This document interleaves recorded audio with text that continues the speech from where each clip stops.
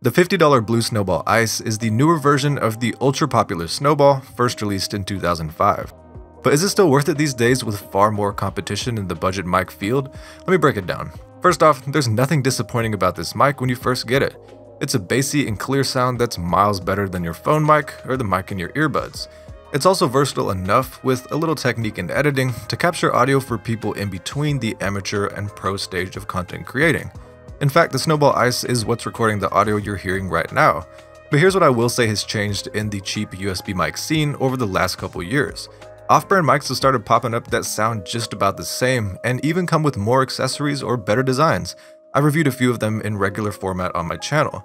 So to people considering the Snowball, I'd say shop around. Look up best budget USB mics around $50, watch and read reviews, check if other mics have features that fit your usage, but at the end of the day, never feel bad about falling back on the Snowball Ice either. It won't disappoint.